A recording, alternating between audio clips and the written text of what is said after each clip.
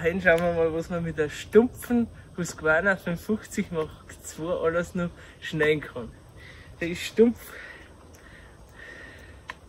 Aber mei, muss trotzdem weitergehen. Jetzt werden sie wieder alle aufregen. Warum schneidet der wieder stumpfen, sehe ich.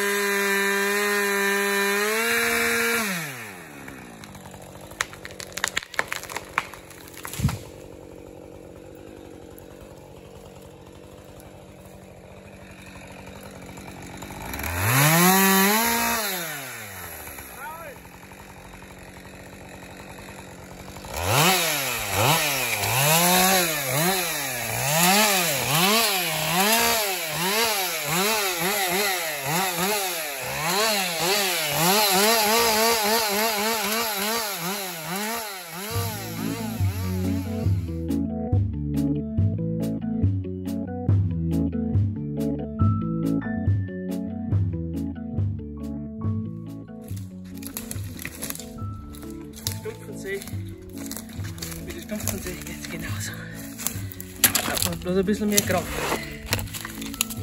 So. Aber ist faul, siehst du? Mhm. Siehst du von außen eigentlich nicht, wird so einfach schon stärker, aber ist faul. Darum keine Splintschnitt. Merkst beim Einschneiden, wie jetzt brauche, Splintschnittspuren weg. In die. Ja. So, und jetzt draußen ablegen. Was ist Oh, jetzt schauen wir mal nach, wie wir ihn haben.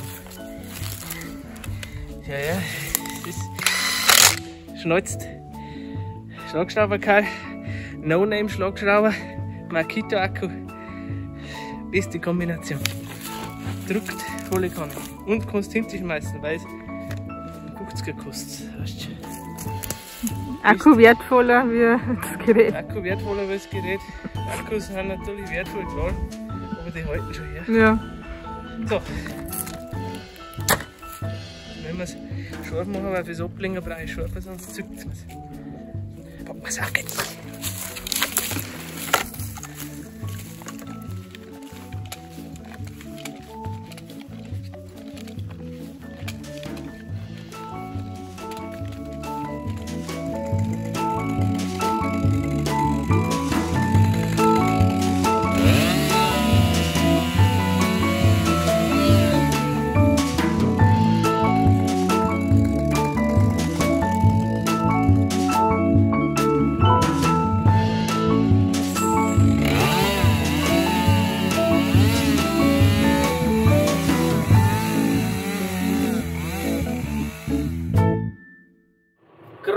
Beim, beim Anschneiden gewesen, jetzt sind wir schon wieder beim Aufladen.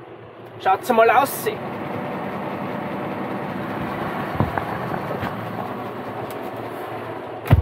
Ach, mach ich wieder zu.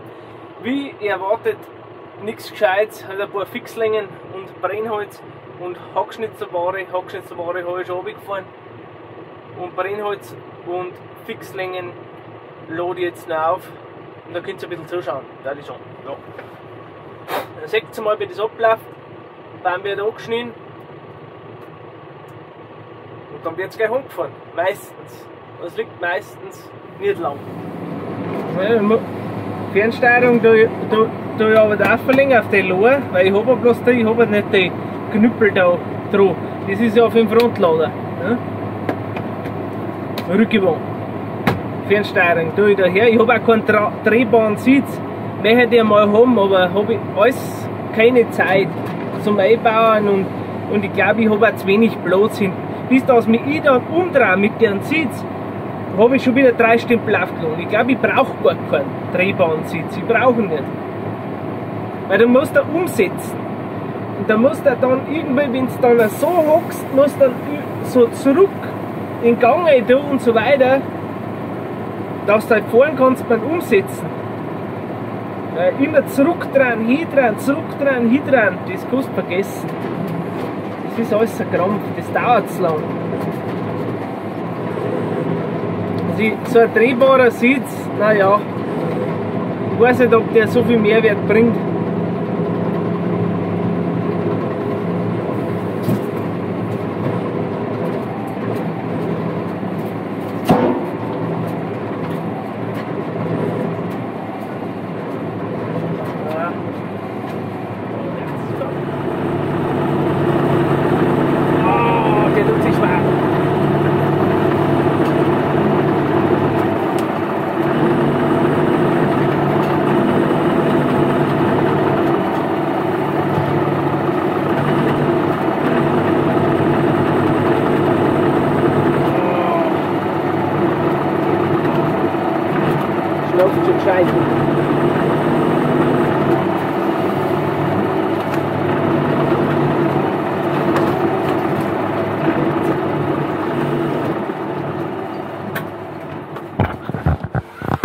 wir uns Fatteln nochmal an.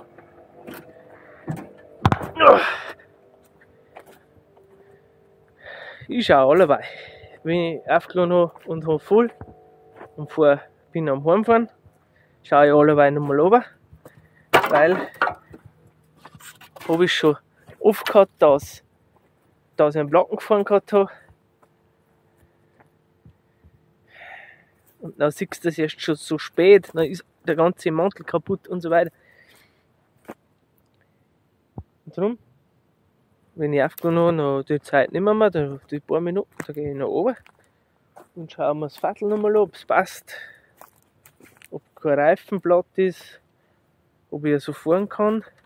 Bulldog, wichtig, Reifenschauer, schaut gut aus, keiner ist platt. Fattel ist auch gut aufgeladen, hängt keins überdrungen drüber. Passt. Schaut es euch an. Was sagt ihr jetzt? Passt es aufgeladen? Beinahe was aufgegangen, liegt aber nichts mehr da. Hm? Was sagt's? Passt? Passt. Gut. Hm? Schaut euch das gespannt Ich will es jedes Mal anschauen. Ich sag's euch ganz ehrlich. Ich bin so froh, dass ich es habe ich bin so froh, dass ich es habe. Ich jammer zwar, aber dass der, dass der Greifer, äh, der Greifer, so, der Rückgewogen keine, keine Kraft war, mehr Kraftrecht und so. Ja, schon, aber du, ich bin froh, dass ich überhaupt so einen habe. Das ist auch nicht alltäglich und selbstverständlich. Ne? Ich bin froh, dass ich meinen Johnny habe. Hätte ich auch fast keinen nicht gehabt. Das war auch eine Glückssache. Und rückgewogen. Ich bin zufrieden mit dem Gespannkurs, was da reißen. Man, du musst halt einfach improvisieren und das ist gar nicht einmal so schlecht. Wenn man nicht allerweil alles zugeschmissen kriegt, sondern man ein bisschen kämpfen muss und wenn man ein bisschen improvisieren muss, ein bisschen das Hirnkastel einschalten. Das ist sowieso heute doch nicht mehr so gang und gäbe. Ne? So, man raus da. Ja, jetzt war es dabei vom Anschneiden, beim Anschneiden Gut, ein Baum, der war jetzt bei einem Baum dabei, ein bisschen von 20. Aber das ist ja wurscht. Aber dass man mal zeigt, wie die Kette ist. Nicht? Ich weiß nicht, weißt, normalerweise schauen da Leute so, die wollen, die wollen schon ein bisschen wissen, was draußen los ist. Nicht? Aber wenn jetzt einer zuschaut und der weiß nicht, wo er Holz herkommt, ja, der Baum wird angeschnitten dann wird er da hergefahren, dann wird er da angelegt, dann werden Dann gibt es viel Abfall, der wo eigentlich gar kein Abfall ist. Ja, wenn du das nicht weißt, was, was ich meine, dann schaust du meine anderen Videos an, weil in Holztrass gibt es nämlich keinen Abfall. Dann wird das aufgeladen, dann wird das heimgefahren und dann liegt es einmal daheim dort. Und dann wird das angeholt zum Sägewerk gefahren, dann fährt äh, das ins Sägewerk, dann wurstelt der was zusammen und am Ende des Tages kommt es nach x Tagen im Baumarkt da. Aber das ist eigentlich bloß die halbe Mitte. Bis das nie das da so anschneiden können und so da drum liegen haben, vergingen jetzt einmal bei deren Stempeln, bei deren kleinen Schwachholzstempeln 40, 50 Jahre die müssen auch gepflanzt werden. Die, die gingen nicht einfach vom Boden auf. Normal, also Naturverjüngung schon, aber normal pflanzt also feuchten, ja. Und nach 40, 50 Jahren haben die um und ist so ein Schwachholz. Ne? 70 Jahre, wenn sie ein bisschen dicker sind. Also das heißt, das, was ich da Hände ausgeschnitten habe, das habe ich nicht gepflanzt. Nur da man sie verstehen die hat Generation davor pflanzt oder vielleicht sogar Generation, Generation davor. Also das heißt Oma, Opa. Ja. So läuft die Nummer. Ja, und das ist ganz eine andere Denkweise. Weil wenn Heinz da einer sagt, oh, ich darf irgendwas machen, das, das war für in, in, in 70 Jahren, ich mache Heint was, dass in 70 Jahren die Leute was davon haben. Lasst euch das einmal durch den Kopf gehen. Und nur dazu weiß man nicht, wie man heim was macht in Holztrast, ob es in 70 Jahren überhaupt seinen Ertrag bringt.